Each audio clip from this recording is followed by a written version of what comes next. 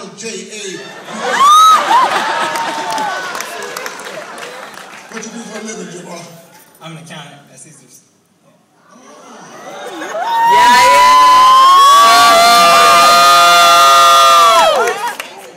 You my check? I'm gonna leave your ass alone right now. You're the nicest person I ever met. You ever know that? You somebody I can look up to.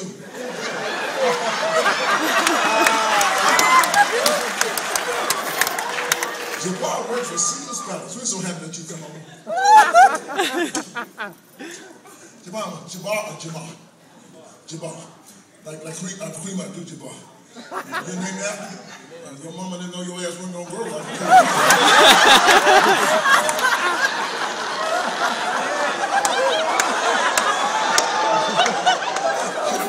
Spun well.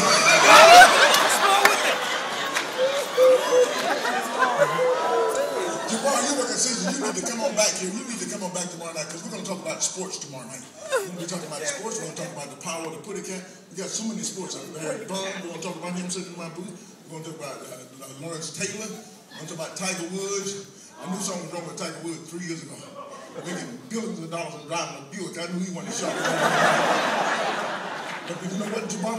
I got a remedy for Tiger Woods. And Tiger Woods no, no, no. I know what he was. He was in Atlanta last weekend, didn't do well at all, did he? But see, he need to call me. I know what to do. I want to bring Tiger back to Las Vegas where it all started. Take him up to the Mandalay Bay, get him a suite and give him 12 holes. get him back on his old routine. He's not married now. He can do it, right? Where you ladies going to pee? Y'all going to pee? Come back this way. Don't go the wrong way. Come this way. Come this way. You got to the way around. Go this way. They got to pee.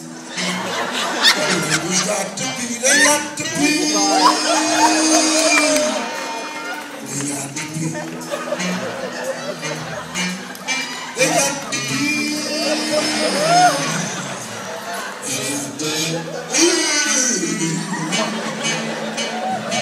Now you ladies get back there, let your friend come. Hold on. When your friend get back there, now pull those two drapes together. Go behind those drapes, pull them together. Now y'all pee right there. Don't to go out to that damn bathroom. You sit that bathroom a mile away. Goodbye. I got a DVD for you, all right? That got other people need their ass kicked on there. Like people walking along the freeway with a gas can in hand.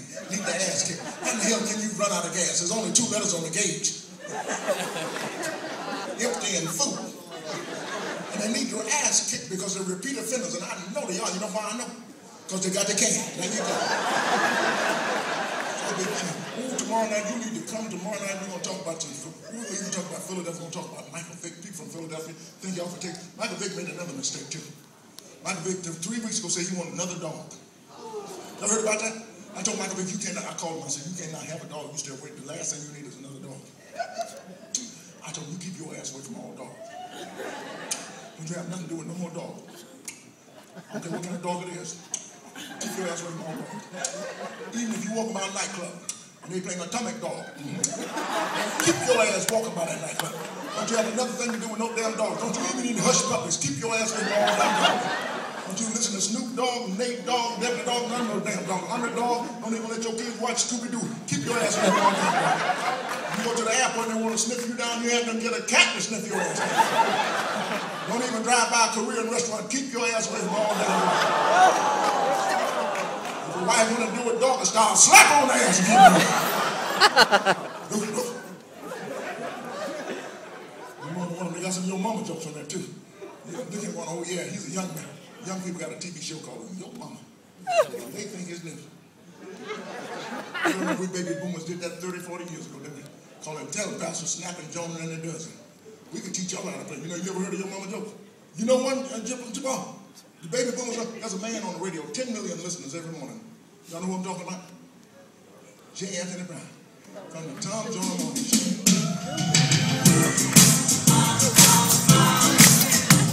Y'all call in and tell him stop talking about my mama. he talks about my mama too much. Oh my God, he talks about my mama so much. I don't that's where he's from. You from? Y'all know Mr. Levy, the funeral home director? He need his ass kicked too. Tell him I said, I'm tired of these funeral homes putting us in the coffin like this. I think they sometimes put us in the coffin